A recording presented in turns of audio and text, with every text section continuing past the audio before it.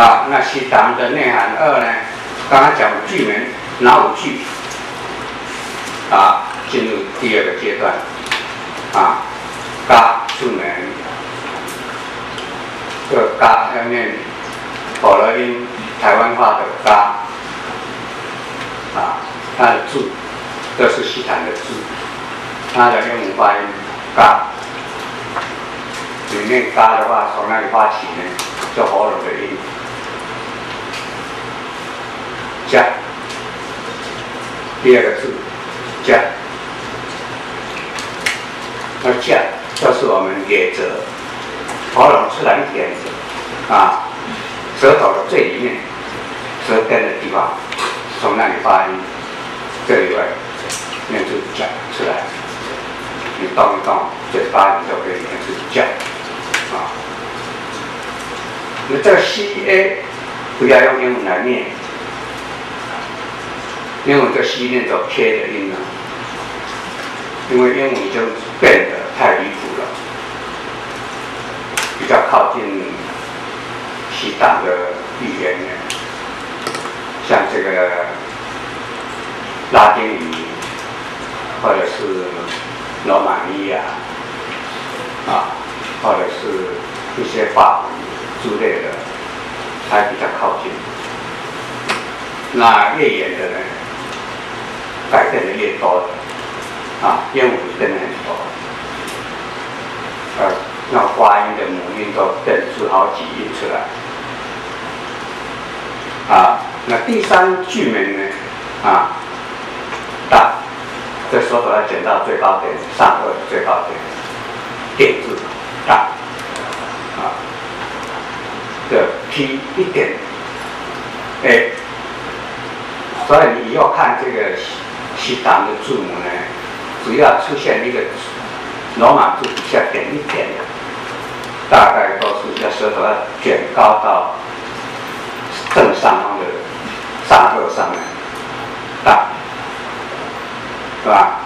这个句，那五个字都是要放在那边。再来第四字呢，啊，啊，就是舌头。放在牙龈跟牙肉的交界点那里，就是放到嘴唇，这是第四句啊。那怕你一听也知道它是嘴唇的声音，是吧？再从嘎是喉咙的声音，到舌头的内部讲，也就是野泽的声音那里啊，哒。舌头正上方卷高，第四个是最最外面的牙龈跟牙肉的接触点大。你只要摆到位置，你很轻松给它画那个印就出来，就不一样。所以你要注意它的摆的位置，不要死背说这个字怎么样，用你的耳朵去听它到底怎么念。啊，这是很重要的诀窍啊。第五个对句呢是怕啊，那它是嘴唇的声音。这等等五类声中，每一句库各有五个字。所以我刚刚讲五五二十五就是这么来的。那这个大后面有五个字，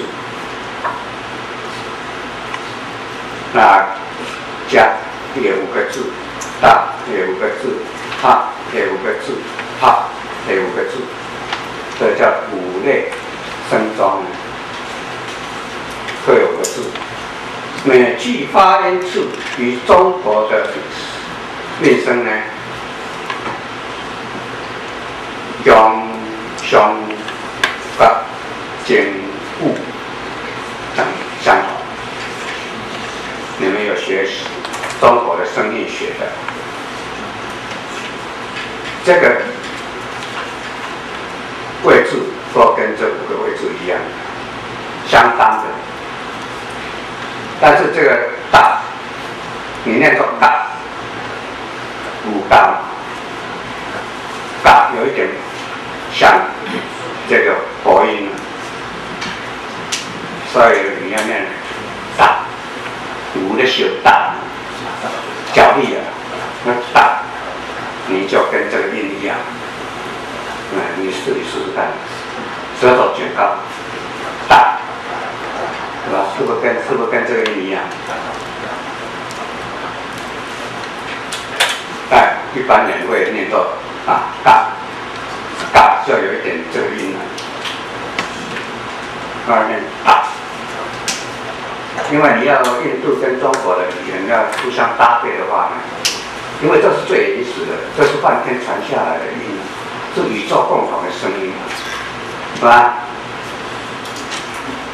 所以当然以那个为主，因为我们是以汉字来发声韵，所以啊比较很难抓得住。好，再下来，每一句话都是重点啊。第一字到第四个字，这里就是每一句有五个字啊。第一字到第四个字，皆是慧门，都是显现智慧之门。所以每一句有五个字，前面四个字是慧门，那四乘五的话，就有三十四个字之中有二十个字在表示智慧。智门，也就是要用智慧啊！你用智慧干什么？不是学一加一等于二那种学问吗！你用智慧去观一切相，不执着，这叫做盘念的智慧。盘念就是你们念的般若智慧。般若智慧是。不懂汉语的时候，不懂其他的时候念的，懂了以后你就要念班念，因为班就是潘，那个肉就是念，啊，这是会。第五个字就是正念，什么？正的解脱入内涵的。啊，先正智慧得菩提，以后入内涵。啊，当然这个入内涵呢，还要进到九片口音呢。啊，这里是正道智慧。啊，离相，佛法显教密教道理都一样，但是密教用一个简单的字母就可以解释所有的佛法。这是。为什么叫总持？非常简单，但理论都一样。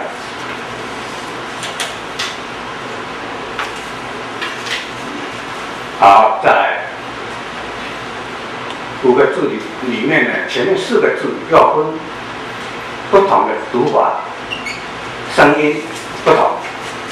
看这里，第一跟第二个字为天柔声。轻柔是这是女生发的音，轻声温柔的声音。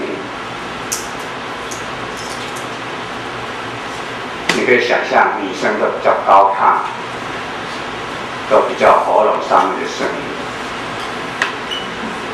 那第三、第四个字呢？着入声，这是男人的声音，所以说比较低沉。那第一、第二就差在那里？就这边所讲的，第二、第四个字是有气音，有含哈的气音啊。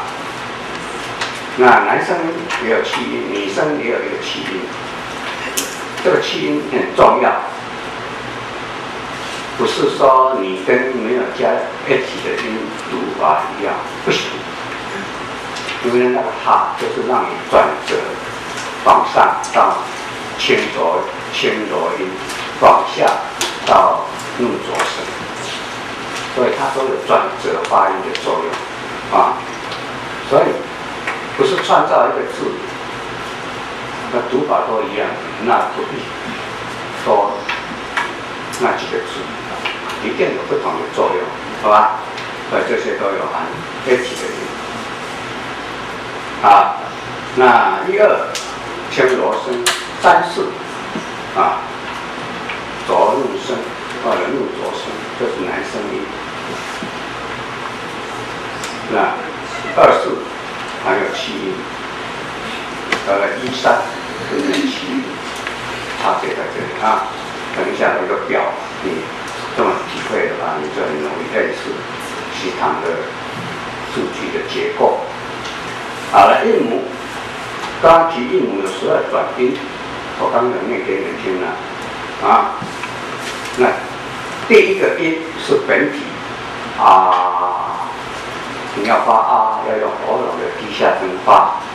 如果你是女生，不能啊啊啊，对吧？三阶的话呢，你女生讲话都比较高亢，所以可以发啊啊，男生音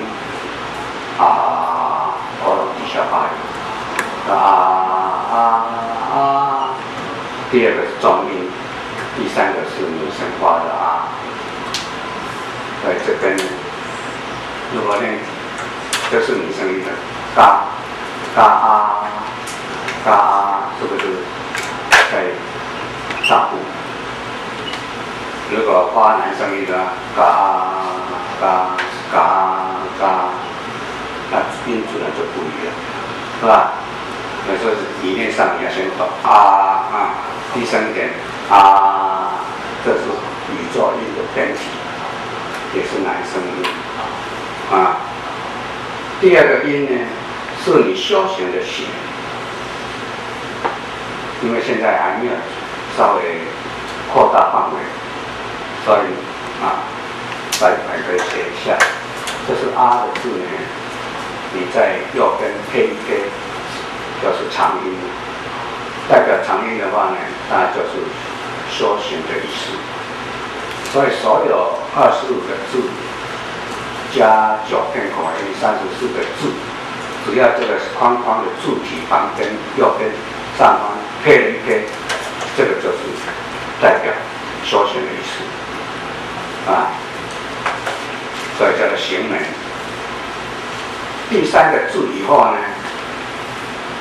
都是用点化增加出来的，点点化化把它加进来的。刚刚已经讲了，叫点化点化。啊，嗯，那第三到第十呢？那这些叫做三麦啊。如果用这个字是讲它的意思，念法呢，啊。三玛利亚，这 S A M A Y A，那为什么要用买呢？三昧耶呀，听过吗？密法里面的三昧耶，以西藏的原则来讲，就是哪一个字。母后面接呀的音的时候，Y A 的音的时候，前面自然就加一个 B 的音。啊，所以前面这个马马会变成蚂蚁，所以三蚂蚁啊，你不能念上面，三蚂蚁啊，这个字跟这个字就到这里，后面应该加 Y 的 A，但是他用这个字是范文里面的正定的意思。三马地，三马地。啊，第十一，其上安一点，是吧？这个一点啊，这嘎的字呢，往上面一点，这叫正门。正到什么？正到菩提智慧。什么叫菩提智慧？就是你面对一切相的时候不执着，这种智慧。我们一般人刚开始学佛，没有这种智慧，天天被日常生活中的人事物黏住了，看一个就烦恼一个，听一句话就烦恼一句话，因为你没有修正到这个安念智慧。那你学西禅就是要学这个智慧，那什么事情都看得开，黏不住你的心。这叫正能量，要用这一点，啊。那十二个字呢？哦，这个汉字写到可乐乐，这个如果不是可了音、可了朗，不会念这个字。好、好、哦，可乐，好、哦，好、哦，啊，你的二，二。所以这个字就是刚好啊，那因为有一个撇在这，如果光 A 两点的话，就哦，都可以直接念出来。好，那这两点呢，就是内反点啊，要记住了，菩提点上面加一点，内反点旁边要分点两点。这两点要怎么点？从底下先点，再点上面这一点。这写法很重要，不是照你讲的。我们中文的上笔顺就是从上到下，从左到右。我看很多的书都是这么在写的，那跟我们写中文的时候不一样。不是，因为西唐有他西唐的理念。所以你要显出是他的理念去写，就不是嗯什么从左到右，从上到下那么写。既然那么简单的话，它显现不出它内涵在哪里。这下面会跟你们讲，要记得这个菩提点。如果你不懂的话，写下讲一上正就是正菩提，这里的内涵，内涵为什么加一个？班呢？班是帕利的意思，P A R I 的音，但帕利它又不念帕利，它就念潘，叫 P A N 的音。如果你不懂这些的话，你写习当然不是念破功，明明是圆满的，帕利就是圆满，你不念帕利，因为要。那外行的人不懂，在这边胖啊，这个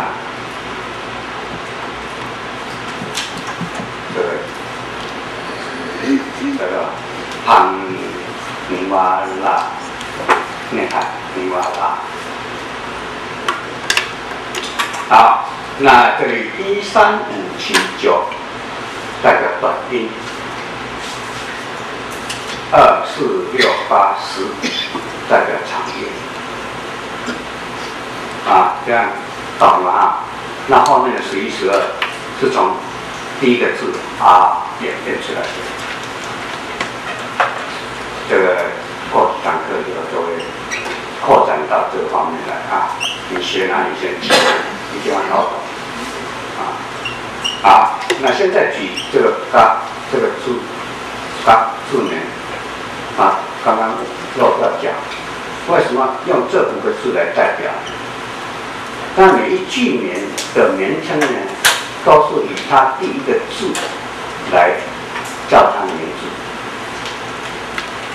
那因为这一句呢都是发音的位置都在同一个位置，像这个喉咙的音呢，嘎，第二个字嘎啊，第三个字嘎啊，嘎。这 K A 降下来，嘎，第四个字嘎啊，都是喉咙的音啊。那第一个字啊，嘎嘎啊，发长音，这一撇就长音。第一啊，长音的一呢是发到右边，左边呢是短音啊。在第第一呼呼。五的长音呢是这一个底下这个高高的这里的一点啊，呃，点就像这个蚂蚁的一只触角啊，给。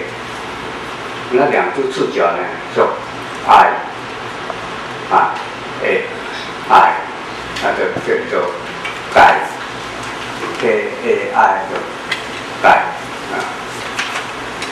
啊，那这里这边左边一撇，右边又往下一撇，啊，这 o 的音就变成 o，k o 的音。